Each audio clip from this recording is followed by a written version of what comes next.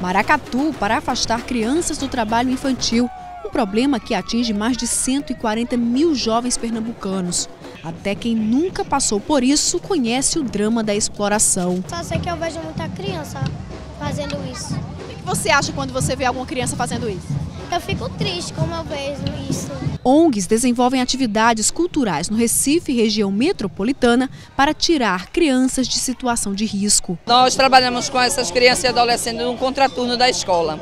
O horário que ela não está na escola, ela vai para a instituição para não estar na rua com envolvimento no tráfico ou em qualquer outra coisa. Todos uniram forças na segunda marcha contra o trabalho infantil nesta sexta-feira. A concentração aconteceu na Praça Oswaldo Cruz e seguiu até a Praça do Carmo. A temática esse ano é trabalho infantil não é legal, não compre, porque uma das, das formas com o maior número de crianças né, é, trabalhando é o trabalho informal. A venda da, da praia, o ambulante, é, o trabalho nas feiras livres, é o trabalho informal. No Brasil, é proibido o trabalho de menores de 16 anos, exceto na condição de menor aprendiz.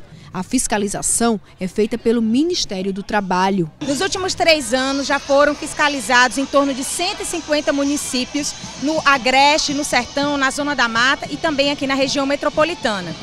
É, sempre que nós encontramos crianças ou adolescentes trabalhando para o empregador, nós realizamos o afastamento e lavramos autos de infração em face desse empregador. Ou seja, esse empregador é multado e, além disso, é obrigado a efetuar o pagamento das verbas decisórias a cada um dos, das crianças ou adolescentes afastados. Quem trabalha no combate à exploração da mão de obra infantil alerta que a população pode contribuir. Primeiro, não comprando produtos de criança que estejam sendo vendidos por criança e adolescente, porque às vezes a gente acha que está ajudando, mas na realidade está atrapalhando, está tirando a infância daquela criança.